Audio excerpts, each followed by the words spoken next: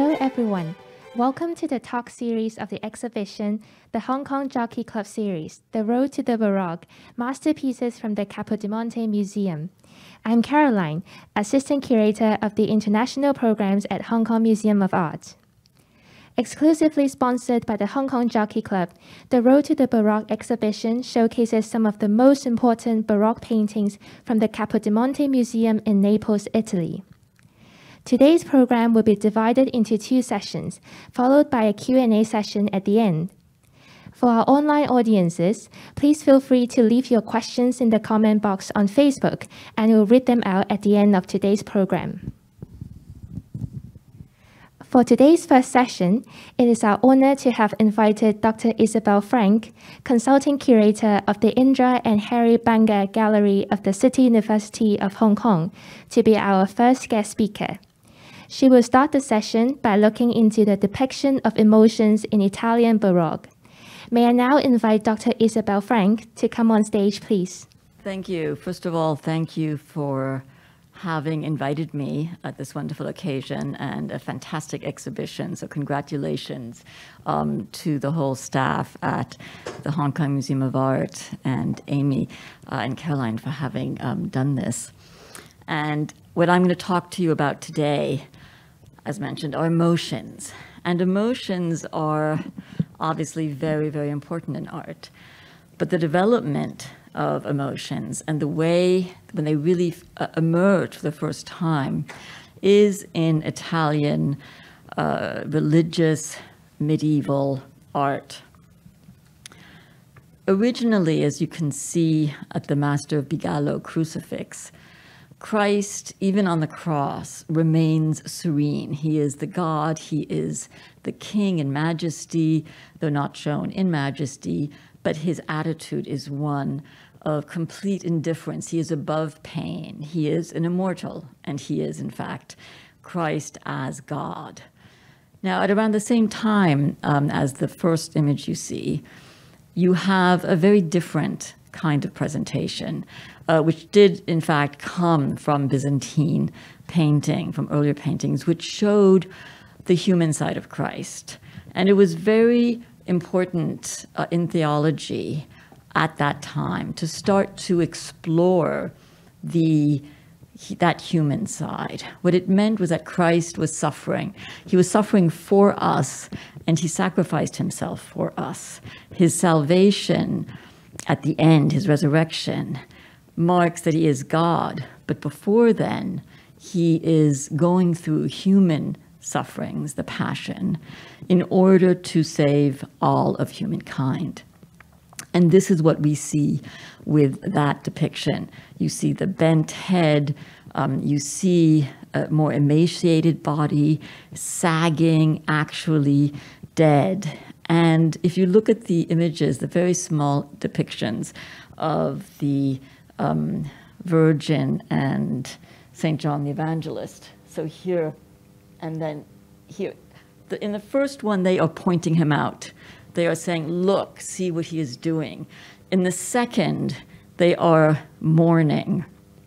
And the panels next to it are also showing the actual scenes of the passion, the sadness, the tragedy, the human sorrow of somebody being uh, martyred and being hung on a cross and then taken down from it. The most famous depiction of this uh, must be Giotto's stupendous lamentation, part of a series of panels, a whole narration of Christ and the Virgin's life in the Scrovegni Chapel in Padua of 1305. And this iconic depiction uh, presents the human tragedy. This is a mother who has lost her son. He is lying there. She is bringing her face close to his, peering into it intently. Uh, there, her eyes, the, the, the ways of depicting her sadness are these sort of slit black eyes that you can see. Oops, no, I didn't mean to do that. So you, you see the eyes there of St. John the Evangelist. Here, the mouth again, this black slit. and the arms outstretched of St. John the Evangelist depicting his dismay. Some people are wringing their hands like this, um, others are clutching them. So the whole scene is one of mourning. But then look up above uh, at the angels. They are even more distraught. And what they're doing is actually scratching their cheeks, pulling out their hair, wringing their hands. These are traditional scenes of female mourning. And here I think what we see is a separation between what is considered appropriate for uh, the sacred figures to as not so as not to distort their faces too much, and what the little angels, the little putti, are sort of allowed to do. So there he can show the extreme amount of anguish. Now, if we jump forward to the mid 15th century with Donatello, you see that same extreme anguish, almost a desperate, violent grief that is being expressed in this. It's a very small devotional panel. So part of it, I think, is that this is allowed, or Donatello, um, there he is somebody who really pushes the margins, um, shows this incredible expressivity because it is a small piece, uh, something that you could have at home and that you would pray to. But it's an incredible uh, depiction with women silhouetted. It's pierced, uh, very low relief, and the Pietà in front with the body of Christ that is uh, laying against the mother who is looking down again. And above her, the woman pulling her hair, another one stretching out her arms, and the whole bodies are showing the intensity of their grief. At the same time as Donatello was doing this, you have the first uh, theoreticians of arts, people like Leon Battista Alberti, writing about the power of art, writing about the importance of the artist. And in talking about emotions, he says very tellingly, nature provides that we mourn with the mourners, laugh with those who laugh, and grieve with the grief stricken. Yet these feelings are known from movements of the body. And that is empathy. And that is uh, precisely what the Renaissance theologians were talking about when they were talking about the human side of Christ's passion. They wanted to provoke the audience, the listeners to sermons, those who would see religious art, to be moved by what Christ had done for us. And that is what Alberti is saying, is that we are going to identify as humans and we can't help but react. So that is the power of art to move us.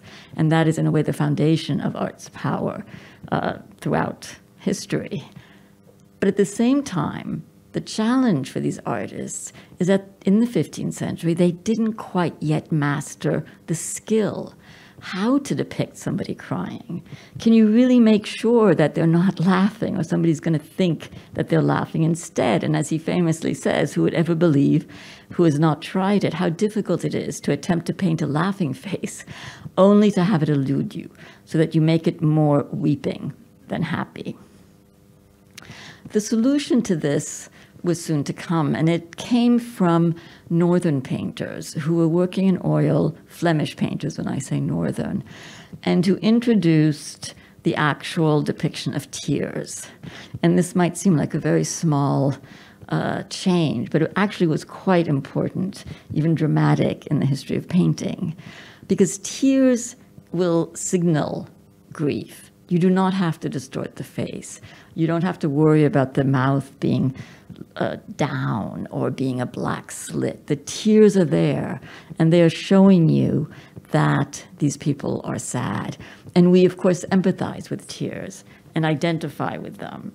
In Mantegna's very famous Dead Christ and Three Mourners, you can see his use of tears um, influenced by northern Flemish paintings that were circulating in Italy uh, and had a great influence um, from the mid 15th century on. So they're little tears, very hard to see right here, the Virgin, tears there, and the third figure is there just with the mouth open. Now, of course, the whole presentation of the body is also incredibly dramatic. So the foreshortening, so you see the feet, you see the holes, the torn flesh, all of that, uh, the, the body that has been tortured, and the sacrifice, of course, of Christ. But the tears and the handkerchief to the eyes is a kind of shortcut to tell us yes, these people are mourning and are grieving. At the same time, or like 20 years earlier than the Mantegna, you have uh, these fantastic, these are full life statues in terracotta that show you the lamentation.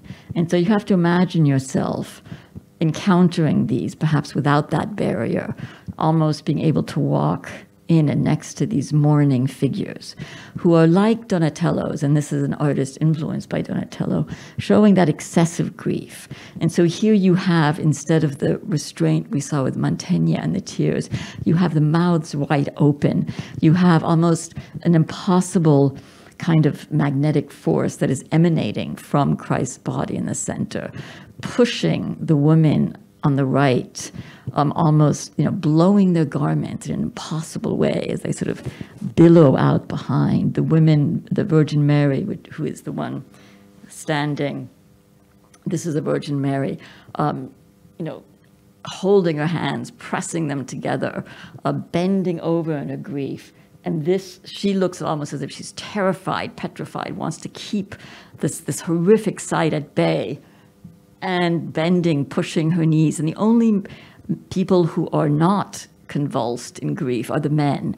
And there is a, a whole gender distinction that occurs at this time also in, in terms of mourning and the suitable nature of mourning. The figure here is dressed in contemporary garb. He is the bridge between the viewer. And the whole import of this is for the viewer to identify and through that grief to be in touch with their own grief and their own sorrow. And then that leads them to remorse and contrition. And that is the path to salvation. So once you identify with Christ and with the Virgin's pain, and you start to feel your own guilt um, for what you've done and realizing what Christ has done for you, that opens the doors, in a sense, to salvation and leads you on the road to uh, eternal salvation.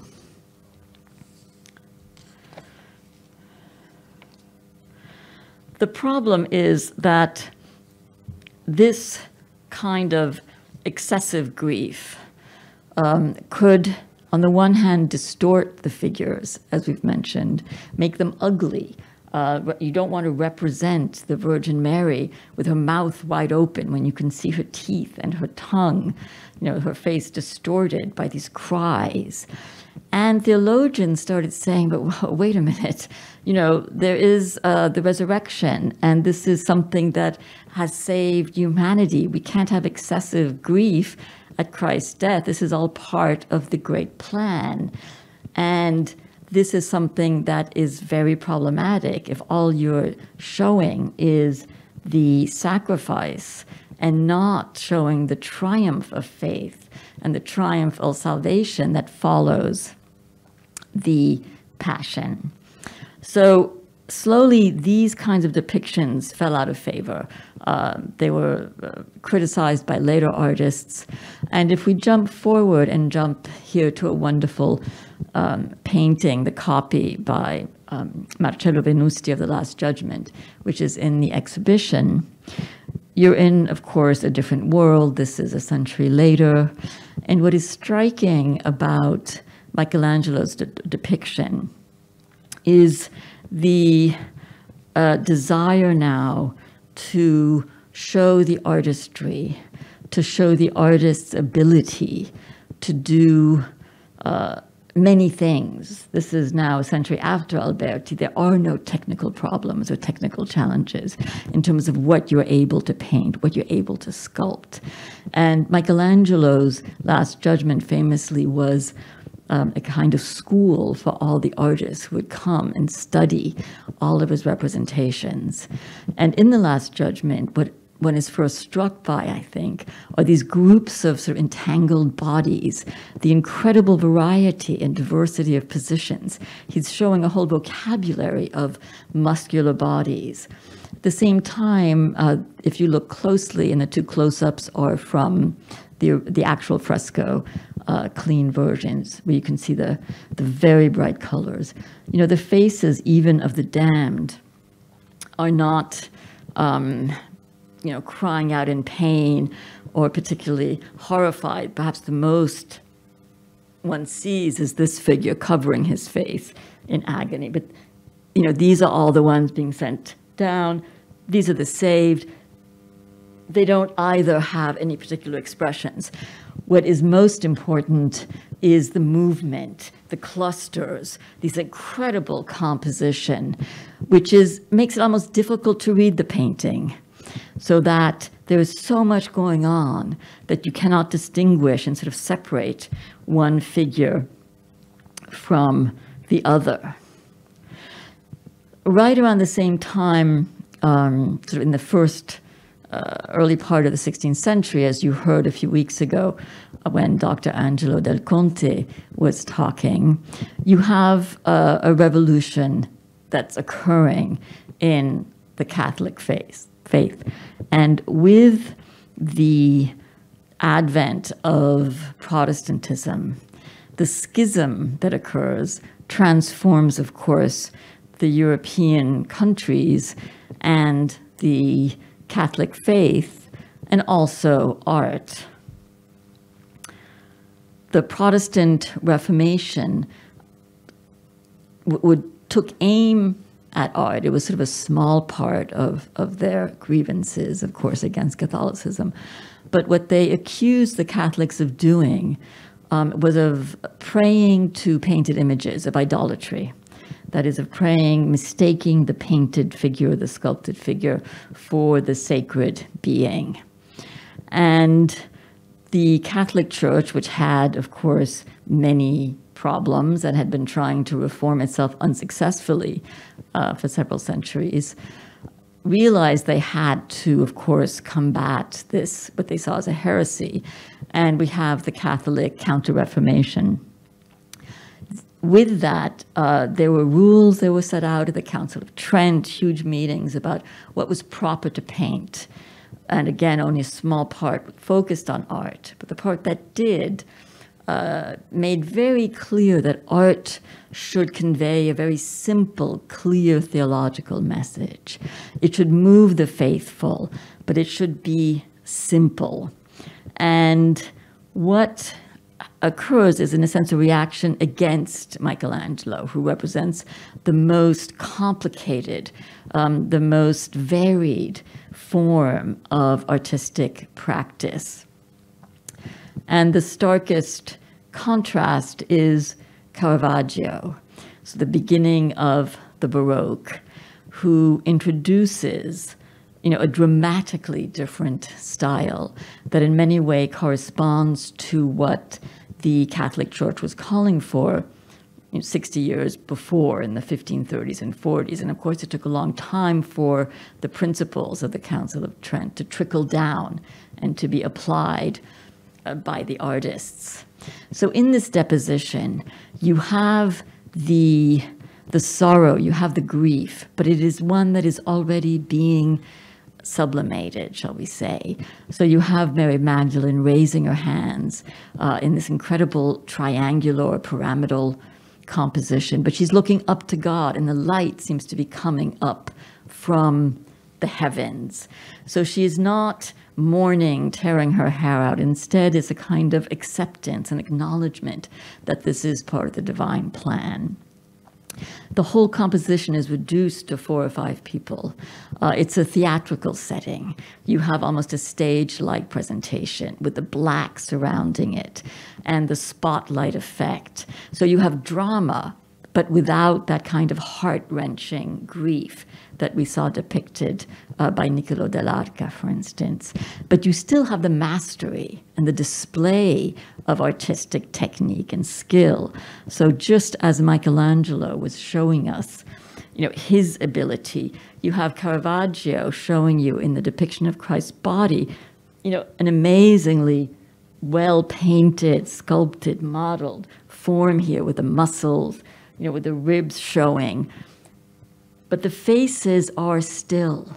They are grave, they are sad, but they are not uh, distorted by shouts and by cries.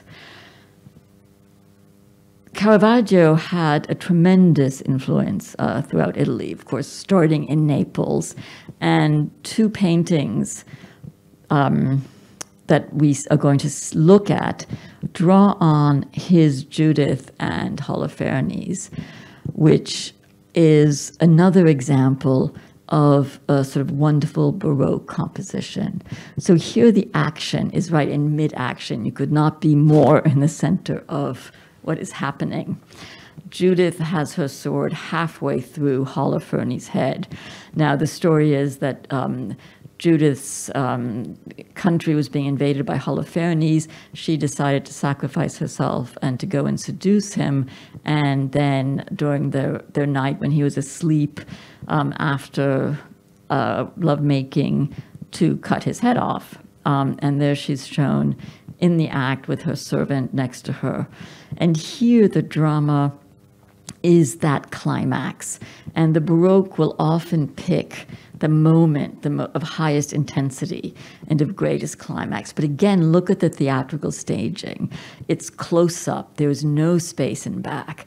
You know, the red curtain, which sort of almost is his blood, uh, the shining light, again, the spotlight that one sees coming from the upper left and shining on his body, on Holofernes' body, again with this wonderful display of muscles, of uh, shadow and light, of his twisting in pain. And his face is distorted. He is the evil person. You know, we can do whatever we want with his face and not worry about undermining the sort of status, the sacred status of his person. But Judith is completely calm. You have this serenity. You have her being completely intent in her role um, as savior of her people. You know, bathed in white. Again, the colors, the color palette is reduced. If you think back to Michelangelo's, you know, you have browns, you have this sort of earth red, yellow, and whites. In the exhibition um, that you have just seen or will see, there are two fantastic examples of the same scene. So, on the one hand, you have Matthias Preti, and on the other, Artemisia Gentileschi. Matthias Preti is showing you or at least actually both of them are showing you the moment after. In both, Holofernes is dead. But Matthias Preti is showing you the corpse collapsed across the bed. Again, this very dramatic presentation, almost sort of in your face, the truncated neck, the arms splayed, um, the beautiful body that Preti has painted. And going back in one diagonal, and then you have Judith in the other diagonal, sort of creating a cross.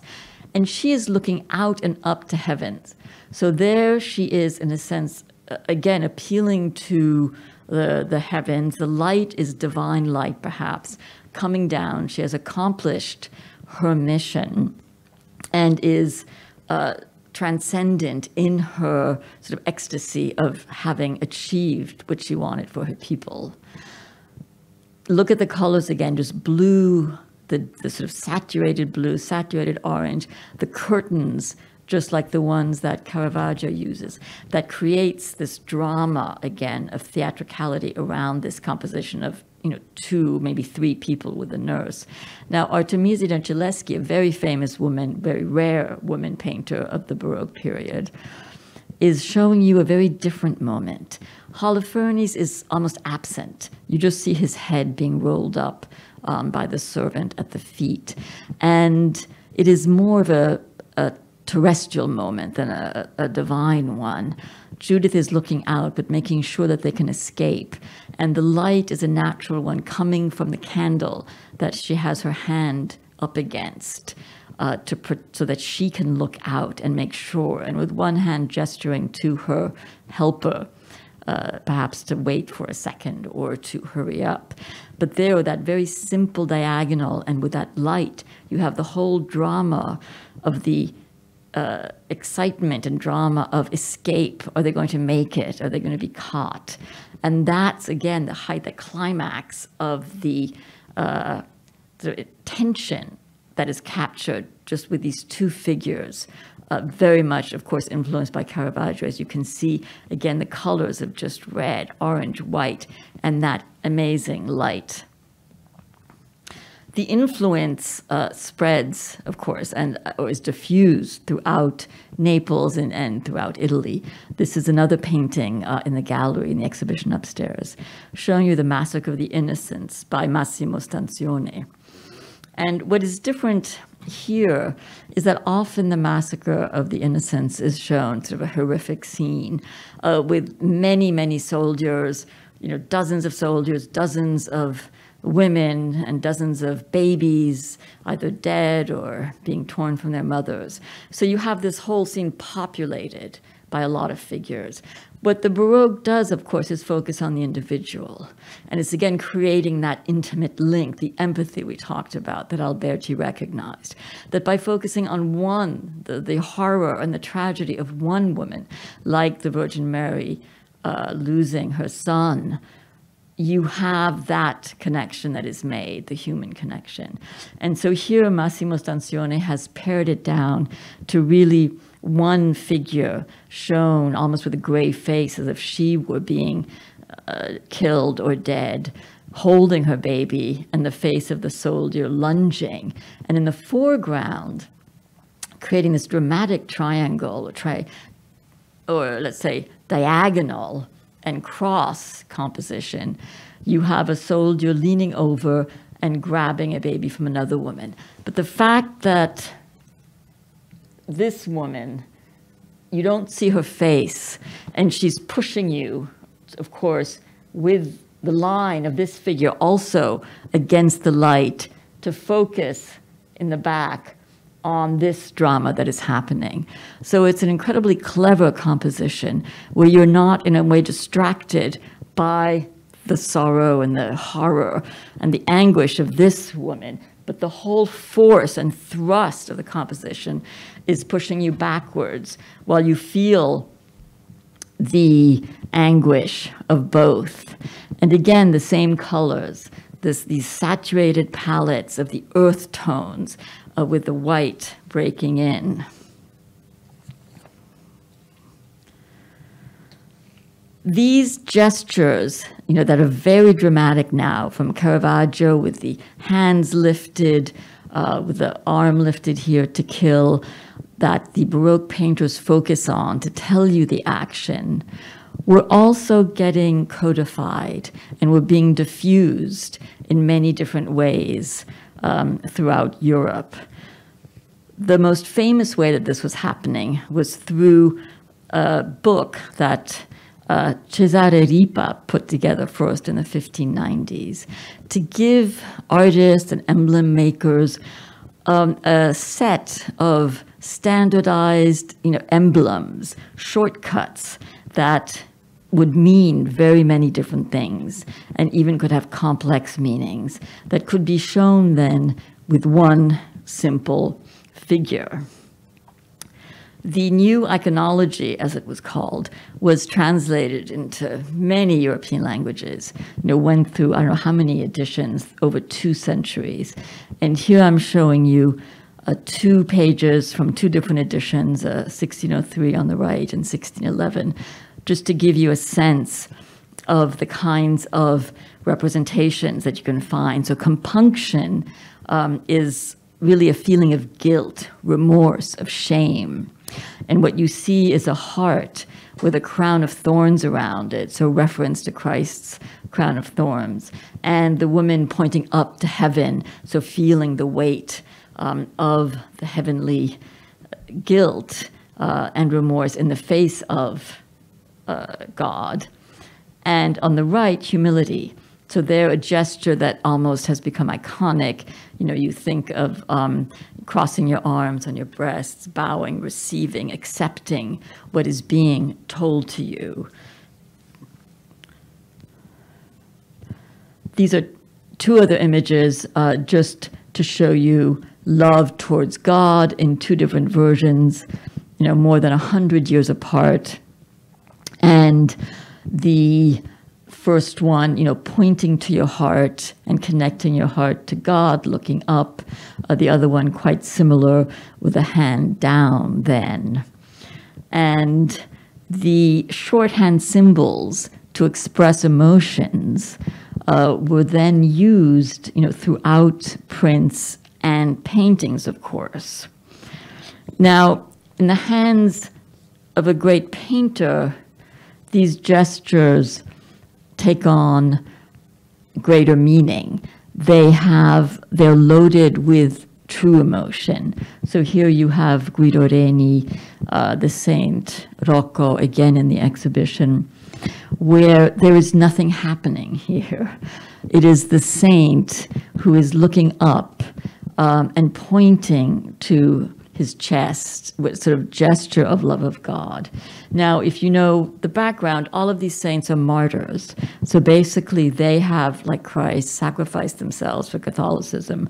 And this moment then is one of transcendence, of San Rocco accepting his fate, looking up, of sublimation. So we've moved from depictions of tears and horror and pain to one of this incredible uh, transcendent joy almost, uh, bathed in divine light, almost with a halo.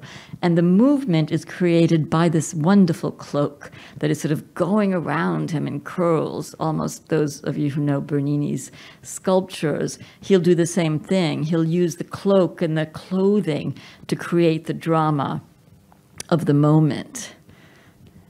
Now, in a completely different style, I'm just showing you this one example of these, uh, what continued in the margins of, uh, still considered the margins of European painting in Italy, uh, these full life statues that recreated the passion of the cross. And you could then go and go from one station of the cross to another.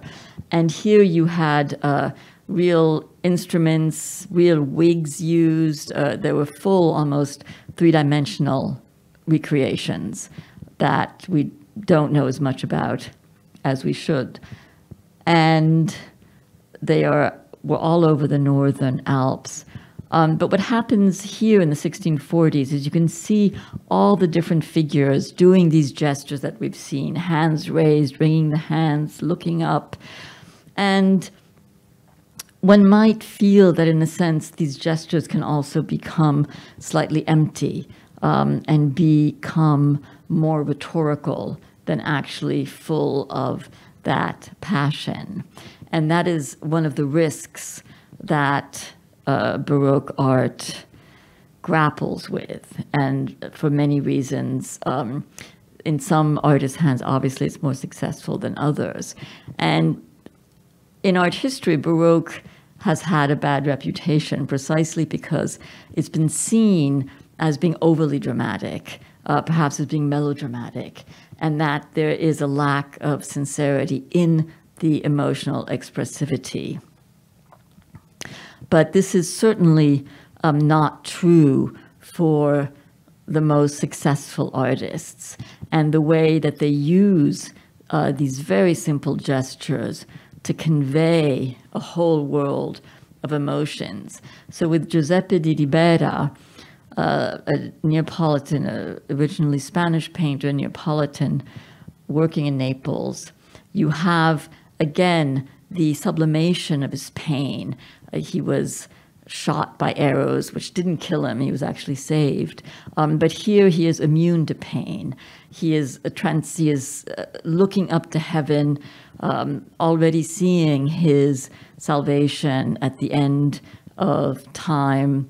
Uh, and the body is bathed in a white light, showing Ribera's artistry, showing his ability to paint the body. But notice now, it's no longer that muscular tone that we saw with Caravaggio. This is now a kind of normal man, probably, who would have been the model for this. Um, an individual with his hair, with his defects. It's not as idealized. Mattia Preti, in his St. John the Baptist, um, again is in, in a sense, showing us a composition where it is the composition that is the meaning of the painting. There is, again, nothing going on. It is, in a sense, a portrait of St. John the Baptist, who is in a wonderful, slightly convoluted pose, sort of pivoting on this stone, pointing upwards, uh, his cross pointing upwards, his symbol, the lamb, at his feet, and everything moving up again to God in this moment of ecstasy, moment of uplifting and transcendence. Um, again, of course, a martyr whose head was um, cut off. Perhaps the height of this um, in the exhibition that we see is, is really embodied in Francesco Guarino's St. Agatha. And St. Agatha was martyred by having her breasts cut off. Now, you wouldn't know this um, if you looked at this painting. What you see is a woman who looks almost sort of supremely indifferent. You know, it's this incredible face looking out at you, almost the eyebrow slightly raised. And she is pointing very, very elegantly to her chest, where she holds a big uh, white cloth then, and you realize it's against her wound, and there's some blood there. Um, but she is sort of almost posing for a portrait. And it's this, uh, the composition is even that of a portrait with that kind of pyramid, this like twisting that occurs in three quarter portraits, and these, again, wonderfully elegant hands. So here it is the martyrdom almost fading away, um, becoming a minor inconvenience for this, you know, beautiful portrayal of the saint uh, with her fantastic sort of alabaster skin. And again, the spotlight. And again, these very simple tones of brown and white. Bernardo Cavallino, in his Saint uh, Cecilia Ecstasy, provides a, another example of this, where you have the uh, the saint uh, who was martyred now sort of levitating up uh, she's not actually sitting on anything, about to receive her crown of martyrdom, the crown of martyrdom being one uh, sort of paralleling the crown of thorns of Christ. And the whole movement is of this upward transcendence. So the actual being lifted up into the heavens as she receives her sort of divine rewards. She was the saint of, of music. Her violin is below her, and the angel is playing in the background. And you almost have a sense, because of the curtain and back, that she has these huge white wings on either side of her. The secular parallel to this you can also see upstairs in this fantastic Apollo and Marsyas. Now, what's interesting here is that you can see again um, how these principles apply differently to different characters. So Marsyas, who had the audacity to challenge Apollo to a musical competition, who lost, obviously, um, is shown being punished. The punishment was to be flayed alive. And his mouth is open in horror, distorted, screaming in anguish. And you can see in back his companions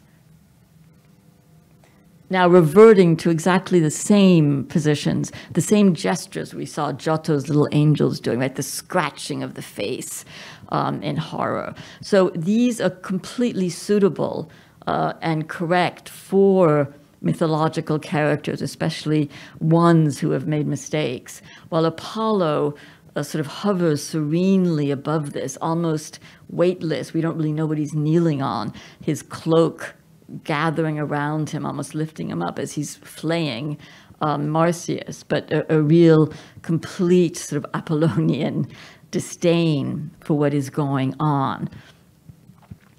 And uh, quickly to show you the, the codification that continued with these kinds of gestures from the Baroque were also coming from rhetoric and from acting. So the manuals for professionals were being written in this time, whether you wanted to be, you were an aspiring courtier and wanted to know how to behave, wanted to know table manners, if you wanted to perfect your way of being a rhetorician, um, these were the gestures that you should use when you were making a speech to symbolize different things. And John Bulwer, for instance, here is showing you the same uh, gesture, one that we've been seeing now over the past uh, 40 minutes, of you know imploration, showing grief, showing sorrow, um, weeping and tears. And so this codification of gestures um, made them available to everybody to a certain extent. Um, and they could be used, as I said, they could be misused as shortcuts. Um, but when used properly here with Bernardo Cavallino, you can see in his secular painting of the singer, so a very early sort of genre painting, not mythological and not religious, who is shown with the, the same kind of ecstatic expression as the Saint Cecilia, both sort of with high with the, the strong light highlighting their face, um, both sort of transported, one by religious ecstasy, the other by music, and with the fingers of the musician sort of beautifully gesturing, signaling in a sense, um, her being transported, and of course, Saint Cecilia's open to God, to acceptance of martyrdom and, of course, joy at um, her salvation.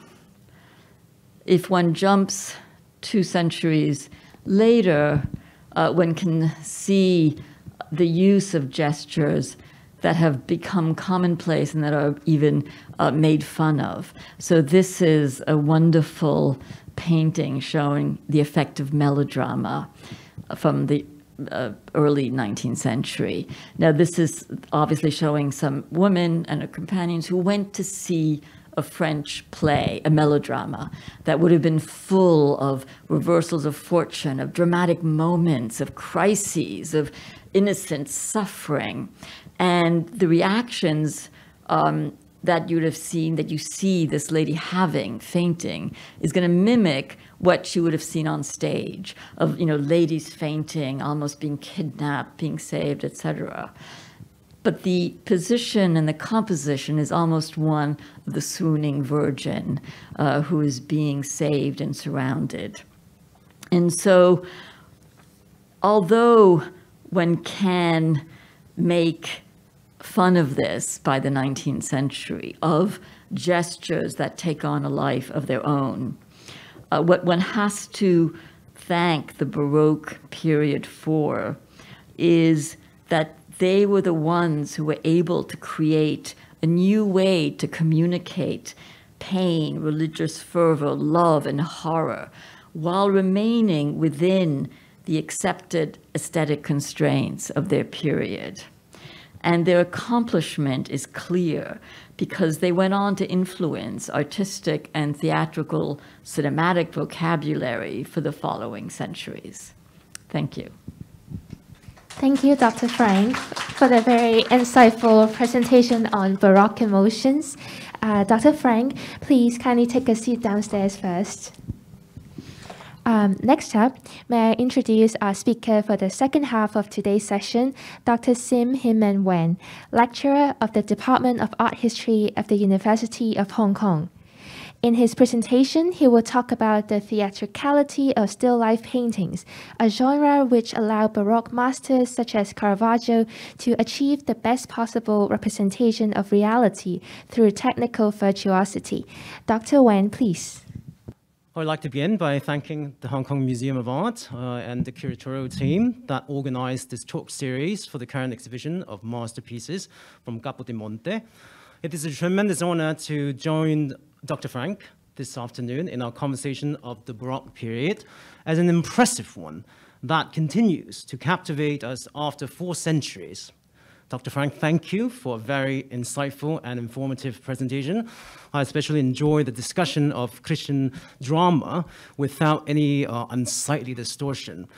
Now I shall talk about the drama of still life painting and how Baroque Italy was connected to the rest of 17th century Europe. Not being able to travel during the pandemic, I was absolutely thrilled to see from the comfort of my home city some of the most seductive works in art history, like the two examples we see here, St. Agatha by Francesco Guarino and St. Sebastian by Giuseppe de Ribera. As we saw earlier in Dr. Frank's presentation, now the exhibition offers all the theatricality, dynamism, and stimulants that one would expect from Baroque Italy.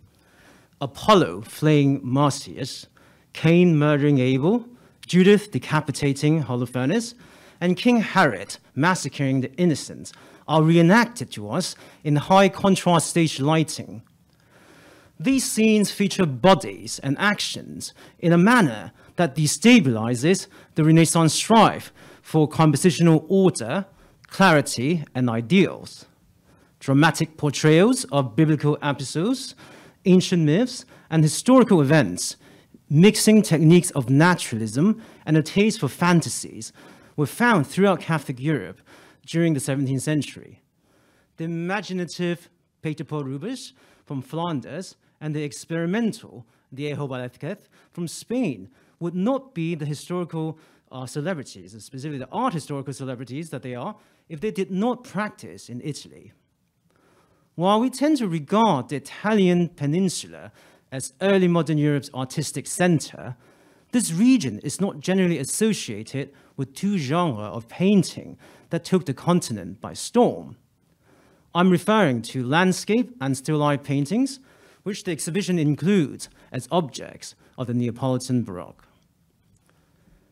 Italian landscape masters, with the Venetian uh, Canaletto and Giambattista Piranesi, as the most recognizable names, did not emerge until the 18th century. The still life pictures from Capodimonte shown upstairs date to the second half of the 17th century. Here is one example from the exhibition with the display of kitchen items as a common motif. And here is a bouquet motif, also common. For the first few decades of the 17th century, artists in the Netherlands and Spain have already established a highly lucrative international market for the still life genre. On the surface, the arrangement of food and household objects in a studio setting is an exercise for painters to study shapes, textures, and lighting as skills of photorealism that they could apply in fanciful compositions. These images appear secular rather than religious, mundane rather than extraordinary, and unassuming rather than ostentatious. But is this truly the case?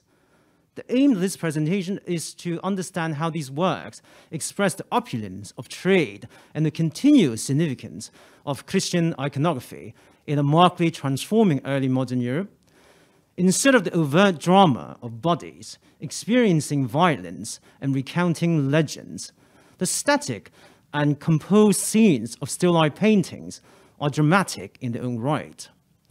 Let's begin our exploration of this idea with the renowned example of Northern mannerism from the mid 16th century. Peter Aertsen is from Amsterdam and rose to prominence in Antwerp before the Dutch revolt when the northern Netherlands declared independence from Habsburg Spain. Antwerp, the largest urban center in Flanders and still the largest city proper in Belgium today, with 500,000 inhabitants reported in 2020, was 16th century Europe's global entrepot. Goods from Asia, Africa, and the Americas brought by Portuguese ships poured into the city. As a bustling port that also made its fortunes from the paint printing industry, Antwerp was the northern European center of art that rivaled Italy, and specifically Venice in the south. For most, Aertsen's meat stall is quite an unsettling image of uh, carnivorism with the severed head of an ox and one of his eyes gazing back at the viewer.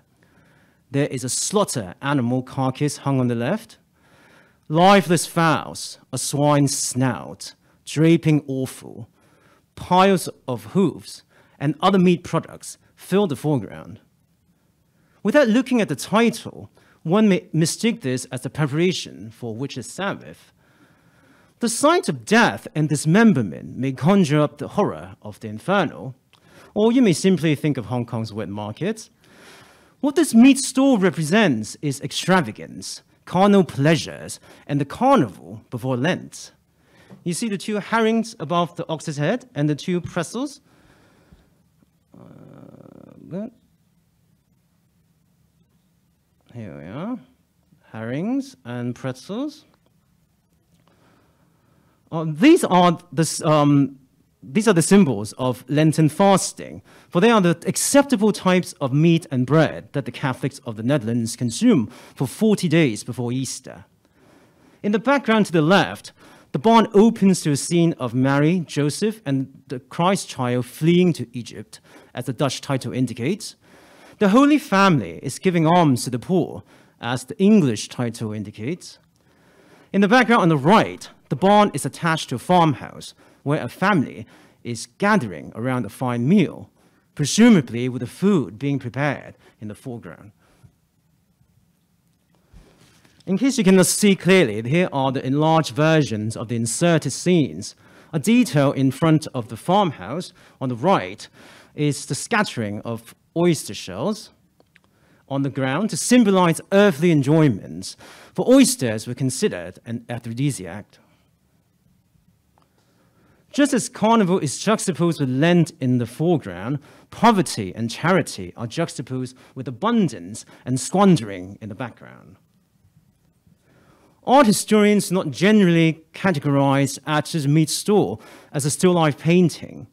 Nevertheless, this mid 16th century work conveys how the innovative display of domestic objects in early modern European art is rooted in the tradition of Christian motifs. When we look at the Italians painting butcher shops later in the 16th century, such as Bartolomeo Passarotti and Annibale Carracci, the influence of Asher is evident. The depiction of animals torn open for human consumption probably remain a commentary on the virtue of moderation versus the vice of excess for Passarotti and Carracci. But the motivation for these paintings was not exclusively religious.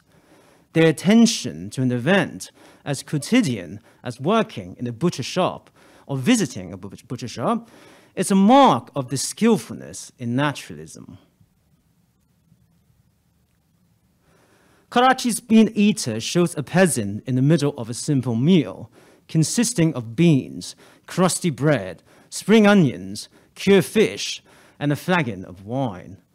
One may certainly connect the bread, the fish, and the wine from, uh, with the miracles of Christ. Yet it is undeniable that the painting's focus is on the peasant and his meal. If Carracci is inviting the viewer to contemplate the moral of frugality and the reward of submitting to the church, he's doing so by exercising a level of naturalism that draws the viewer into the scene.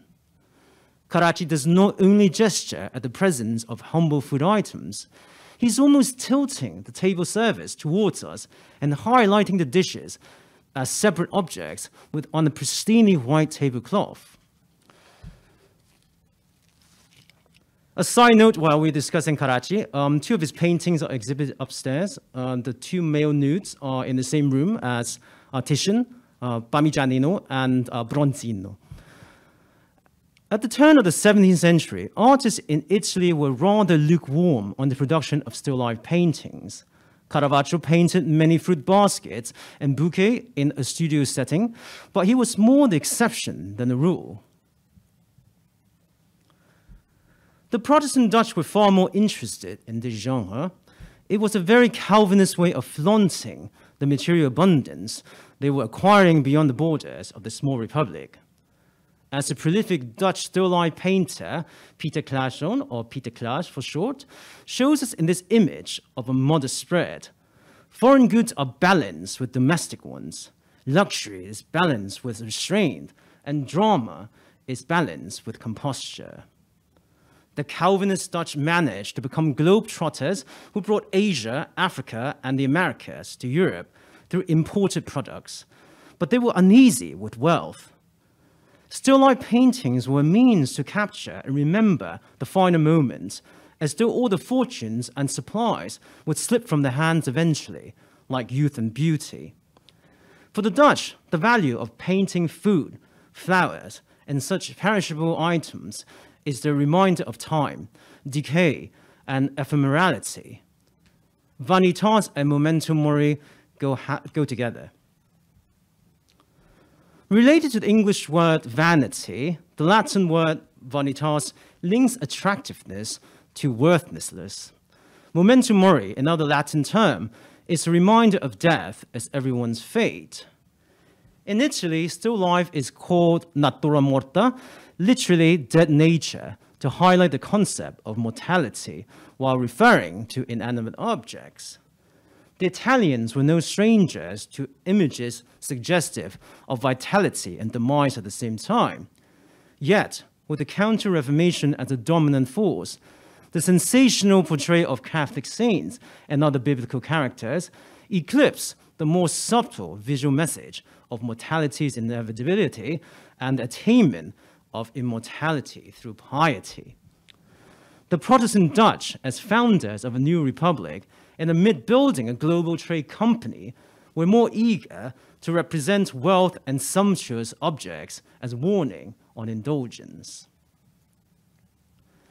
In Claesz's to Life with a Turkey Pie, there is no ambiguity that the centerpiece is a turkey pie.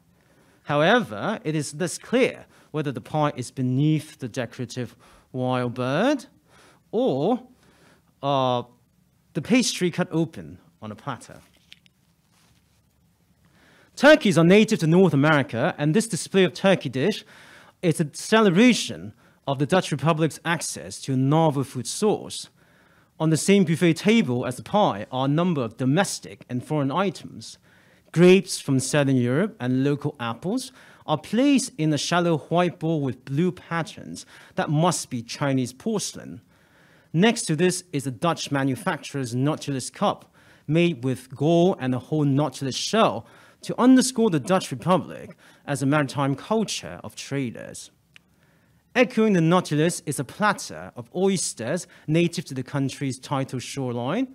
It is served with a generous helping of ground peppercorns imported from Indonesia, which were a costly rarity at the time.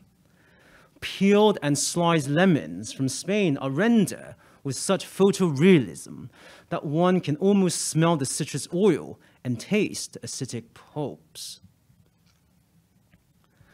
The same can be said about the cracked walnuts and bread loaves scattered on the table. One can almost hear the cracking sound as one gazes at the bits of shells and the golden crust separating from the soft, chewy center. Behind the pie are a dish of olives and a glass of white wine from the Mediterranean. The wine is poured from a tall curvaceous and well-polished Ottoman flagon made of South American silver. Covering the table are Dutch white linen and Ottoman uh, damask fabric. These represent the lucrative textile industry in the Netherlands, as well as the profits generated to purchase another globally traded and status-boosting product for the home from Asia. Dutch life paintings do not typically contain landscapes or human figures in the background. Objects of vanitas and memento mori, such as the flamboyant Nautilus cup and the fresh food that will soon spoil, are arranged to be a convincing scene rather than a random collection of things alluding to ideas beyond the picture. In this scene, Dutch life paintings are composed to be are, in, uh, are composed to be enjoyed for their illusionistic appeal before they're read for their didactic function. Claesz's inclusion of optical details is key evidence.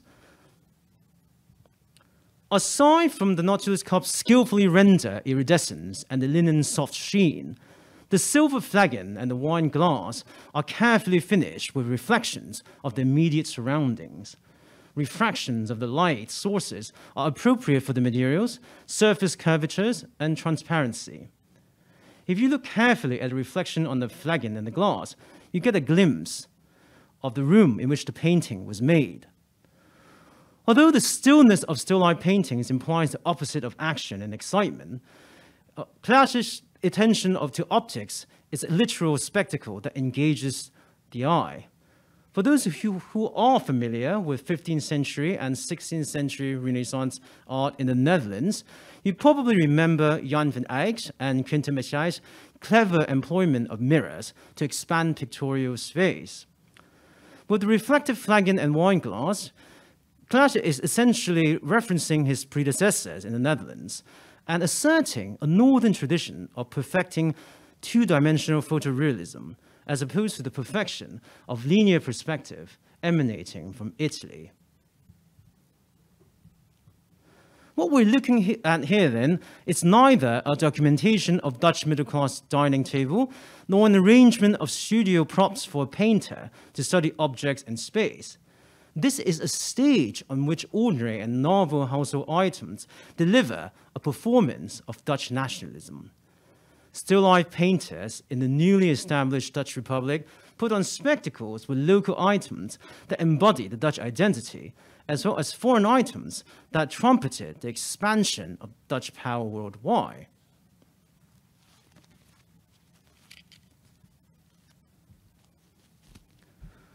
Tulips appeared in paintings not only to commemorate the Dutch cultivation of this plant from the Ottoman Empire with tremendous success and profitability, but also to express the Dutch Republic's scientific preoccupation with observing and understanding nature. As seen here in Ambrosius Bosschaert's still life with flowers, the placement of flowers in a vase allows the artist to represent each flower, uh, each flower type, from different angles and at different blooming stages. The result is a single frame that suggests the viewer's movement around the flower and the prolonged experience of the bouquet. This defines our modern conception of a picture as an instant capture from a fixed perspective. In other words, a still life painting is by no means static. The appeal of flowers and their spectacular quality is not something that needs explaining. It is also evident to most of us why flowers are seen as objects of vanitas and memento mori. Flowers budding, blooming, and wilting remind us that youth and beauty are transient, and death is inevitable. In this still life by Bosschaert, the butterfly on the left is a further reminder of metamorphosis and change, rather than stability and permanence. The Ming Chinese vase with floral ornamentations holding actual flowers presents a contrast of real versus simulated, variable versus constant, and fragility versus durability that emphasizes time and its power over us. Like the still life paintings of table spreads, images of bouquets are artifacts of nationalism. Here we have Dutch tulips juxtaposed with a Chinese vase, which were both items of luxury associated with the Dutch middle class and expressive of the Republic's prosperity. Although Dutch still life paintings feature domestic objects, they did not usually convey the perspective of women on domestic life. Clara Peeters is an early 17th century woman artist from Antwerp who was active in both the Protestant North uh, and the, the Catholic Southern Netherlands, in her still life with fish and candles, Peeters makes several references of early modern women's private and public roles that move away from signifiers of Dutch nationalism, capitalism, and expansionism. Fish is known in the Christian world through time as a symbol of Christ, and in the classical tradition as a symbol of the element water. However, more specific to 17th century society, piles of fish, crabs, and prawns for the dinner plate evoked the fish market and the rowdy fishwives that vended the spoilable goods. contrary to the modern generalization of pre-industrial women as domesticated and subservient to men. Fishwives are an example of women running a highly demanded business and having a dominant presence in the public sphere. Concurrent with the rise of the Dutch Republic as a global trading empire were one, uh, the Protestant government's dissolution of convents, and two, the shift towards the bourgeois nuclear family with maid servants. Both conditions led to the domestication of women. Is Peeters hinting at such a fate for contemporary women? She is, after all, an accomplished woman artist. Her inclusion of a self-portrait on the metallic lid of the Rhenish stoneware jug on the right, which was a luxurious possession, is an indication of her status. It is difficult to see, but here is her face painted as a reflection on the lid. Such realism would be mesmerizing in a world without photography. At the center of the composition, the shiny scales of the fish are echoed in the perforated copper strainer and brass skimmer. These two utilitarian kitchen objects conjure up the maidservant. By connecting the fish to the strainer and skimmer, Peeters is juxtaposing the condition of working women in a public place and working women in a private place. Adding to her representation of maid servant in private homes with the kitchen utensils are the artichokes, a costly vegetable from the Mediterranean, thought to have aphrodisiac properties when consumed. As the only green and lively item among an assortment of dead and inanimate things, the artichokes are possibly a commentary on the commodification of the young maid servant in an affluent middle-class household. The partly burned candle in the back is unmistakably memento mori, and the glass receptacle on the left is very likely another symbol of womanhood. In this painting, the most overt reference of gender is a female crab with its belly facing towards us. For viewers who grasp the implicit meanings, Peeters Still Life is more than a flat picture of domestic life. It is a multi-layer spectacle of a woman artist inserting her voice in an art genre that typically conflates domesticity with patriotism and patriotism with the patriarchal glorification of territorial expansion and resource acquisition. We have now looked at several examples of early 17th century still life paintings from the Netherlands. This genre was the most popular in the Protestant Dutch Republic, but it was by no means ignored in the Catholic parts of Europe, where art production was largely focused on the Counter-Reformation and religious imageries. In Spain, the name for still life painting is bodegon, which is related to the word bodega, meaning a tavern or an area for preparing food and drinks. Bodegon paintings depict ordinary characters and scenes, as well as objects. They are called bodegones because the contents are seen as quotidian, unrefined, or even vulgar, like a tavern. Here I've chosen a luncheon scene by Velázquez to illustrate the type of characters and scenarios in a Spanish bodegon. A Dutch still life would only show the plate of mussels, the loaf of bread, the wine, and the pomegranates on the white table. It was acceptable for Spanish bodegon to add an entourage of common folks with candid expressions taking part in everyday activities.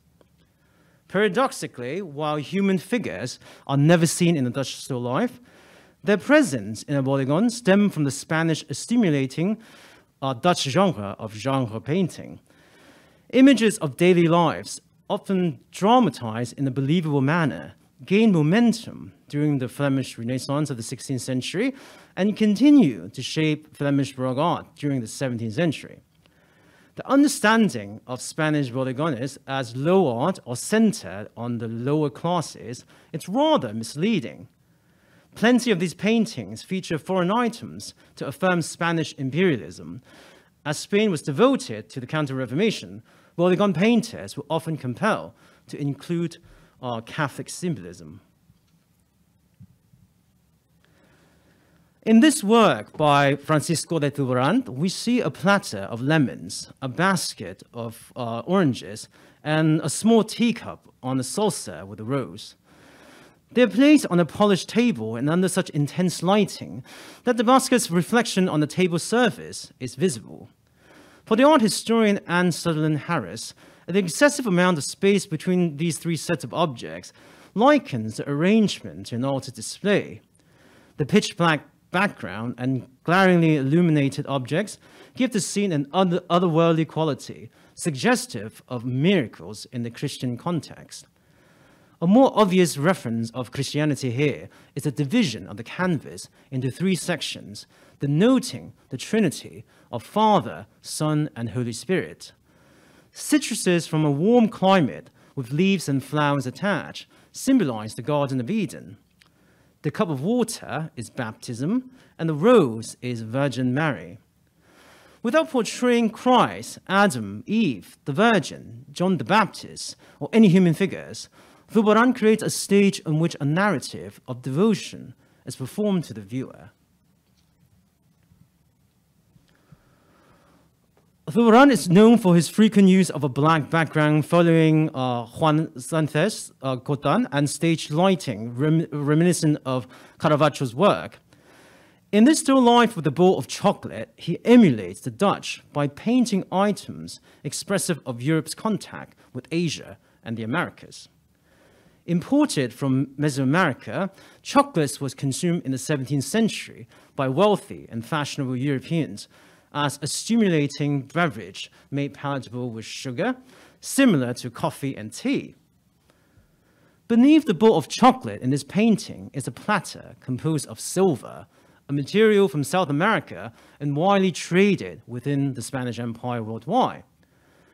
While the title of this painting is focused on the chocolate, we also see on the left a, co a copper coffee pot and a pair of Chinese porcelain teacups, referential of the Spanish Manila galleon trade. An Arabian jasmine flower next to the cups is another indicator of tea. On the right are small cane sugar loaf for the bitter chocolate and an indigenous clay jar imported from the New World. This jar represents yet another fashionable drink at the time, which is water flavored, aromatized, and cooled by the clay. Supposedly, the water is therapeutic. Today, we know that the alkalinity, porosity, and insulative capacity of clay do in fact provide a mineralized, purified, and chill water. Thus, in a single picture, we have coffee from the Ottoman Empire, purchased with Spanish American silver, chocolate native to Mesoamerica, water in a clay jar produced by indigenous Americans, and Chinese tea brought to Spain through Spanish Philippines and Mexico. These products are highly accessible to us in the 21st century. 400 years ago, Europeans were willing to pay outrageous prices. If we look at this table of coffee, tea, chocolate, and water, through the eyes of a 17th century European, we are invited to admire a spread of luxury and the spectacle of the Spanish Empire possessing all these coveted goods. I think it would help if we imagine these objects as diamond and gold-studded containers of cognac, champagne, auction wine, and pure oxygen.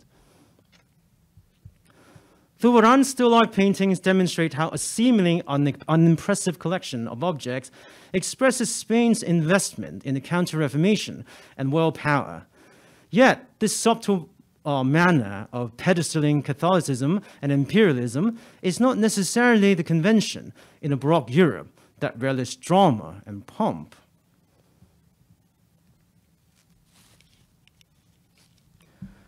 Let's uh, have a brief look at Ca um, Catholic Flanders, part of the Spanish Netherlands, before we uh, conclude the talk. Native to Dutch-speaking Flanders are the Baroque masters, uh, Peter Paul Rubens and Anthony van Dyck, whose work will be shown at the Hong Kong Palace Museum next month until February. Sorry if I'm promoting for another museum, but this upcoming exhibition is very exciting news for the Hong Kong community in general. Now, the creator of this Flemish Baroque still life, contemporaneous with the Zurbarán's Bowl of Chocolate, is Jan Davidson de Heem. He was a Dutchman active in Flanders, the reverse situation of Clara Peeters, who was a Fleming active in both the northern and southern Netherlands. In this work, we see a much more exuberant and festive approach to displaying Spanish Antwerp's wealth that aligns with Baroque theatricality, irregularity, and excess.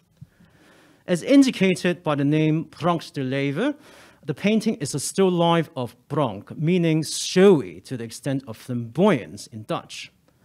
Behind a table of plenty is a black satin curtain, are partially pulled back to reveal a landscape with ominous storm clouds and a Tuscan column suggesting an Italian architectural setting. Hailing from two continents outside Europe, the bluish African gray parrot and the scarlet macaw parrot native to Brazil give the painting its title. Although the title directs our attention to the parrot, the image is definitely focused on the magnificent spread of fresh fruit, cooked seafood, and fancy containers. The pomegranate, melon, and gourd on the table, along with the conches and the equally iridescent figs on the bench, bench represent sexual appetite. Reinforcing the idea of carnal pleasures are two butterflies, symbolic of momentary beauty, and a platter of oyster savor as aphrodisiac. This is a sight of abundance and that inundates our eyes with all of the hues imaginable, and an explosion of props without enough space to hold them properly. Expensive silver plates sit on top of one another. The bench is an extension of the lavish table, and there's even a ceramic pot on the floor. Mirroring the turbulent sky and the curtain's elaborate folds is a haphazardly placed um, damask silk fabric as a tablecloth, representative of West and East Asia. Wildness is an apparent motif here, especially with the leaves reaching out from the fruit and the tropical parrots gracing a human gathering. At the same time, the leaves and the parrots allude to paradise, such that a scene of indulgence is justified as a reward of commitment to Christianity rather than a sign of uh, sinful decadence. With understanding of Dutch, Flemish, and Spanish still life painting from the first half of the 17th century as multivalent images of wealth, power, identity, and devotion, we're now more equipped to appreciate the still life works upstairs from Capodimonte, all the objects in the collection date to the second half of the 17th century. This painting of a loggia garden with a woman picking grapes from the end of the 17th century is by the German artist uh, Christian Brueggens in the Roman studio of Carlo Maratta. Like Antwerp in the Spanish Netherlands, Naples under Spanish control enter a period of decline beginning in the mid 17th century after the devastating Naples plague of the 1650s. This is a lesson for Hong Kong recovering from the COVID pandemic. In Rome, around the turn of the 18th century, there was not necessarily economic prosperity that motivated the flaunting of material resources through painting.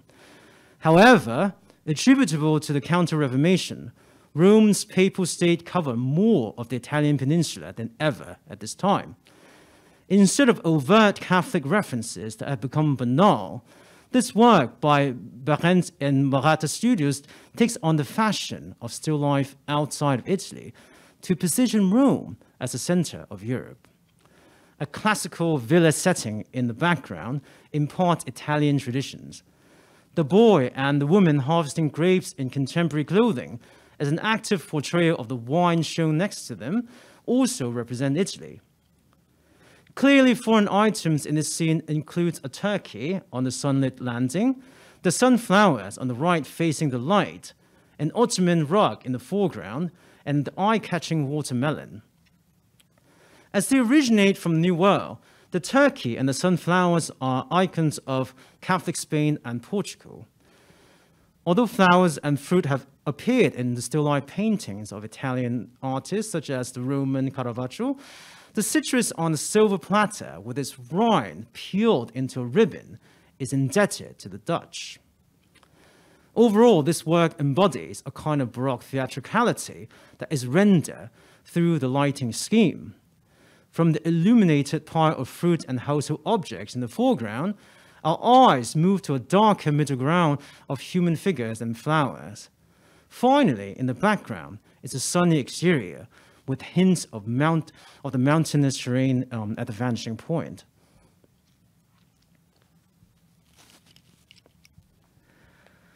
How were the examples of still life painting produced in Naples or produced by Neapolitan artists representative of Baroque theatricality? As a historically prosperous and proud city of trade in the Mediterranean before the mid 17th century, um, was Naples also interested in articulating its status through still life? I hope that this talk has provided some information and guidance for viewing the Capodimonte still life pieces upstairs. We began with the consideration of the genre as a more minor one in Italy during the 17th century. On the contrary, paintings focused on inanimate objects were exceedingly popular in the Netherlands. By looking at Dutch still life, we have foregrounded another major artistic development in 17th century Europe, that coincided with the Counter-Reformation and the Baroque in the Catholic South. For the Dutch, a simple bouquet or buffet table presented in a somber atmosphere may be a poignant spectacle.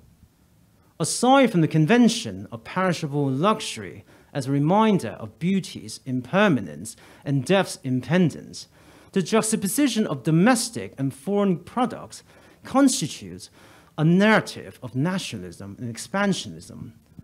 Such an affirmation of secular power by visual means paralleled the papacy's international program of reinforcing the Catholic faith with inspiring art commissions in the captivating Baroque expression. Examples of Spanish and Flemish still life further attest to the cross-pollination of innovations between Southern and Northern Europe. Ultimately, the current exhibition of masterpieces from Capodimonte offers a more inclusive glimpse of the Baroque period. As a historian of Dutch visual culture from a global perspective, I must constantly grapple with the polarization of cultural production into a central camp and a peripheral camp. Thus, I am thoroughly delighted to see the inclusion of still life and landscape paintings alongside portraits of saints, scenes from the Bible, allegories of Christian virtues, and depictions of ancient myths. Thank you for coming this afternoon. I look forward to your questions and comments. Thank you very much for sharing, Dr. Wan. And now may I also invite Dr. Isabelle Frank to come back on stage for our Q&A session. Uh, for audiences, if you have any questions, uh, please raise your hands and our ambassador will pass you the mic. When I walked around the exhibition, um, something stood out for me the theme of women or, um, in strength, either mentally or physically, uh, amongst the biblical paintings. Um, in our contemporary society, everyone is aware that there's a consensus drive to address the balance of appreciation of the two sexes. I was just wondering in the Baroque uh, art world whether there were any deliberate desire to promote anything around this theme or subject matter? Uh, thank you for that question. It's quite interesting. Um, I would say that it was not deliberate in that manner, but that the biblical themes provided uh, an excuse to portray women so that you would need uh, in an interesting composition to have both men and women. And the portrayal of women uh, as heroines was one that was uh, that had a long tradition to it, of virtuous women uh, sacrificing themselves, or Lucretia, etc. And these had been held up as models of female behavior in the Renaissance through paintings, that were uh, designed and painted for new brides to remind them, in a sense, of female virtue. But at the same time, as you point out, these are also images of very strong women. So uh, it is a double-edged uh, sword in, in one sense. That is, you are reminding women um, of uh, their virtue to protect their chastity, to be uh, faithful, etc. But at the same time, you're showing that they can be very powerful. And in the Renaissance, in the 15th century, you had a moment when women rulers were quite powerful, um, often ruling for their husbands who were off leading wars. Uh, this window closed in the Baroque.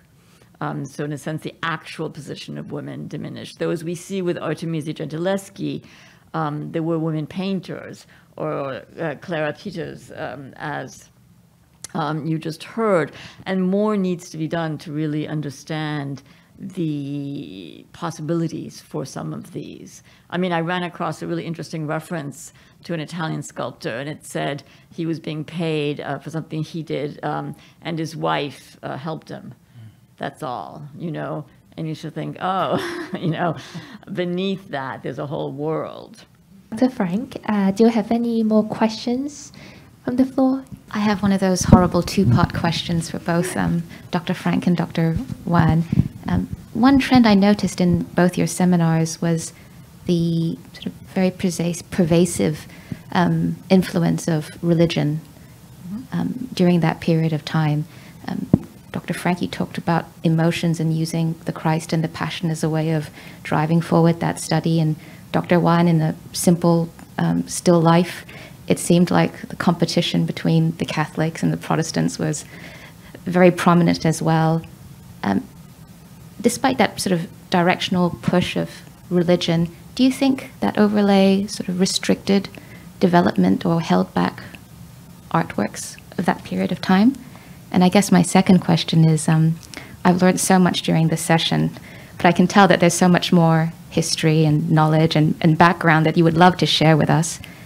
Without having your level of expertise, how would you suggest the general public um, appreciate the pieces in the museum here today? Uh, well, I'll start with your the first question. Um, is that um, in the in Europe, um, painting, art, uh, sculpture developed out of religious art. There was no art really um, before, so that uh, the medieval paintings, I mean, this is within the religious world, right? Not going back to Greek and Roman. Um, but from the Middle Ages onward, uh, the art that was made was religious. And then it slowly opened up. Um, so that then you start having portraiture, then you start having some mythological, secular representations. And then you get still lives, landscape, right? And the genre, which is neither the mythological, classical, nor the religious. So at certain periods, um, I mean, it depends what you mean by constricted, because artists always work within constraints. There are always aesthetic constraints, political constraints. Um, they might not even be aware of them.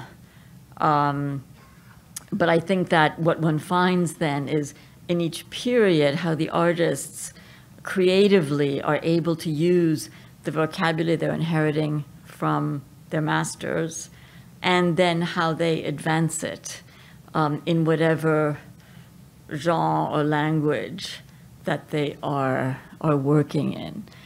So I would say there are always restraints, and that's sort of part of the challenge and beauty of art, of seeing the artists overcome these or, or work within these. Uh, for your second question, um, you know, it's, it's, it's very hard to answer in the sense that in our period right now, there is so much information available that if you actually go online, you can get these brief, you know, histories of art.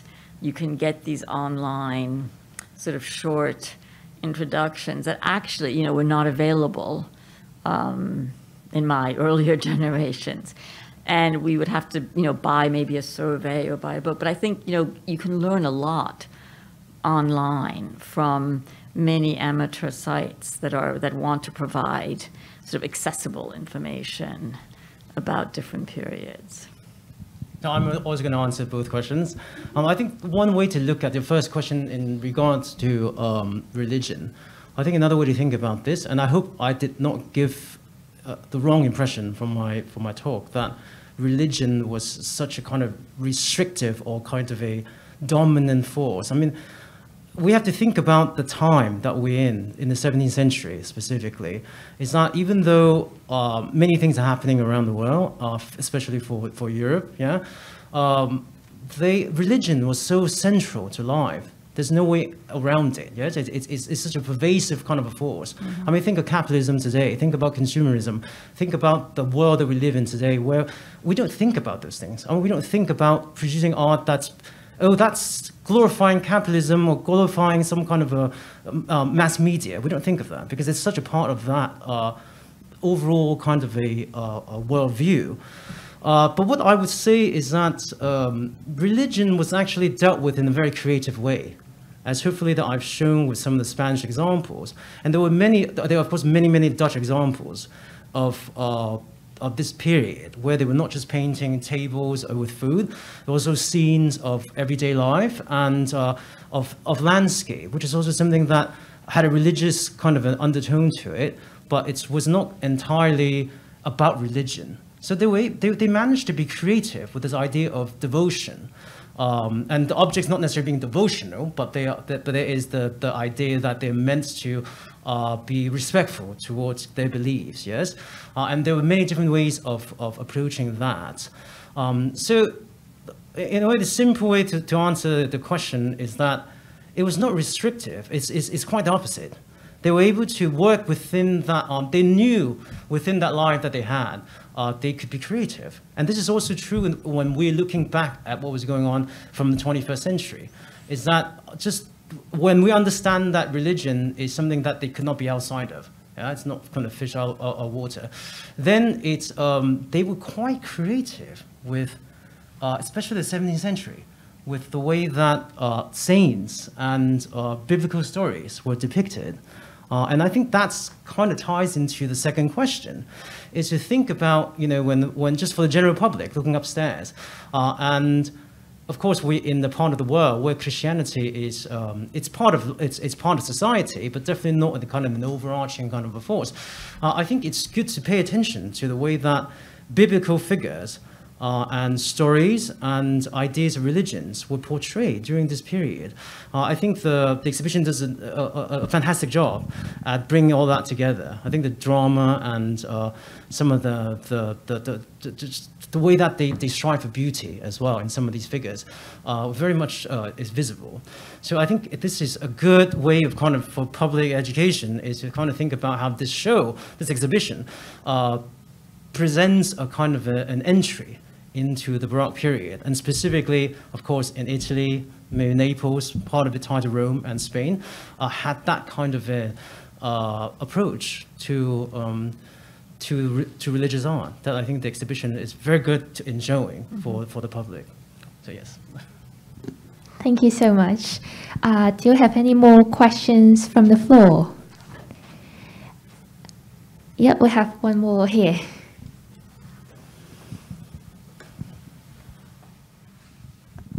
Thank you. Thank you both for the presentation. They're very impressive and very informative.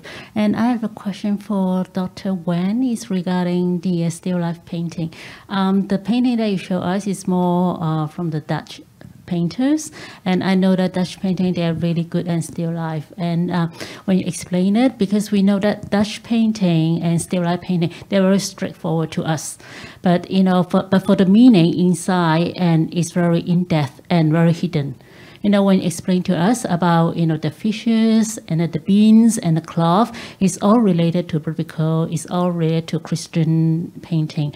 So um, in this uh, exhibition, um, we have the Baroque painting and we have the still life painting. So uh, do you see there is a two contrasts? You know, one contrast is very like open, like Baroque is very like um, very uh, related to religions, and when we walk in, um, when we see the, the, the figures, the subjects, we already see know that this is a biblical, and then this is from the Bible, and this is uh, the Christianity painting. But for the still life, it's more subtle. And you know, when we walk into the end of the um, exhibition, and then we will, it's a big contrast, and somehow it's quite a bit confused because you're seeing a lot of like mythology, and then suddenly you see a very like harmony, and then like bouquet flowers, and then you know, is that a uh, uh, do, do you see this is a big contrast, you know, maybe for Dr. Frank too? Do you, do you think that this is,